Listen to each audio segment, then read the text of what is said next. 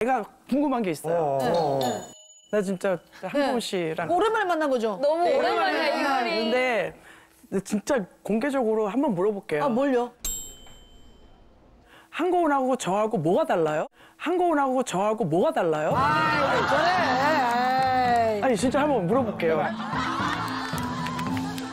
아니, 오늘 분위기 좋은데, 백개투 좋은데 왜 그래요, 언니? 저기 저는 마이크 찰때 물어보더라고요. 그래서 제가 그냥 싸늘한 시선으로 제가 답변을 의례적으로 했거든요. 야, 근데 그걸 또 얘기하네.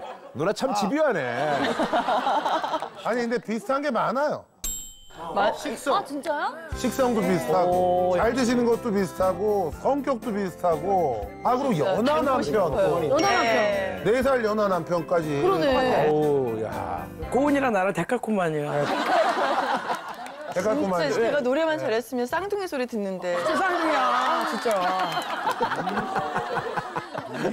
아니 한국 씨뭐 내가 보니까 요즘 예. 뭐 이제 저희 동상이몽 이후로 사실 예능 쪽에서. 예. 뭐 해외 다니면서 요리도 하고 뭐 서정훈이랑 엄청 또 요리도 하고 바쁘시더라고요. 엄청 바쁘더라고. 그러게요 저 그렇게 솜씨도 없는데 아니 아니 그런 솜씨 있는 거예요. 솜씨는 우리가 알죠. 아 근데 솜씨가 더 늘었겠어요 이제? 어 많이 조금 대중화돼 가고 있어요. 아 그래. 네, 어. 처음에는 저와 신랑의 입맛만 맞추다가 어. 예, 조금 대중화돼 가고 있는 것 같아요. 우리 저 신영수 씨 근황도 궁금한데 신영수 씨가 굉장히 뭐 유명해지고 오. 그야말로 뭐 그- 어. 네. 그 남자. 그 남자 맞아요. 근데 지금 또 여기 스튜디오도 오셨대요. 아 진짜요? 네. 와서 또 지켜보고 계시다는데? 아 진짜. 아 저기 있네 저기 아 저기 어. 계시네. 저기 계시죠? 네. 어머. 아, 저기 있네 어. 어머머머머.